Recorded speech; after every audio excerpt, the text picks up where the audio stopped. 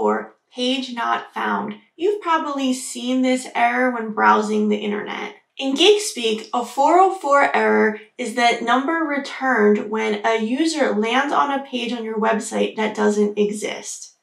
There are several reasons for this error.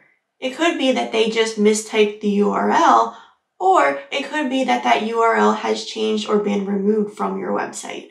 It's impossible to prevent all 404 errors from happening, but instead of giving somebody a generic page that's probably going to lead them to somewhere else, we can create custom 404 templates that give people more information and keep them on our websites.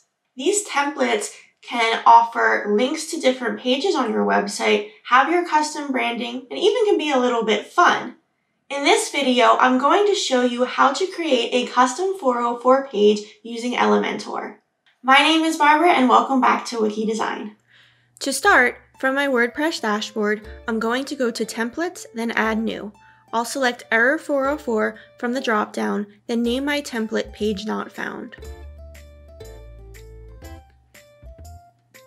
There are several pre-made 404 templates available in Elementor Pro, so you may want to take a look at those for inspiration. I'm going to make my template from scratch, so I'm going to close out that window so I can start adding sections and widgets to the page. The interface for a 404 template is the same as anything else you'd create in Elementor. You have the ability to add as much or as little as you want and can customize every part of the page. So take this opportunity to create a custom 404 template that shows off your personality and fits within the style of your brand. Although this is a page that probably won't be seen very often, you can really have some fun with it.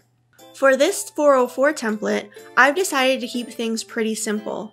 I found this stock image on Pexels, so I'm going to add that to the left column and use my right column for a custom message, search bar, and a button that links back to the home page.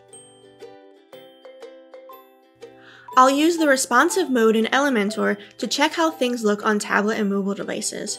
The responsive mode allows you to easily make changes to your layout for specific screen sizes and is one of my favorite features of Elementor. I just want to make some final adjustments to this page before previewing it in my browser and then hitting the publish button. In order to get this to work, I'll need to select 404 page from the display conditions dropdown. I'll hit save, and now my new 404 template is live. Check it out. I hope you found this tutorial helpful. If you did, please give this video a thumbs up, subscribe to our channel, and ring the bell to receive notifications whenever we post a new video. See you next time.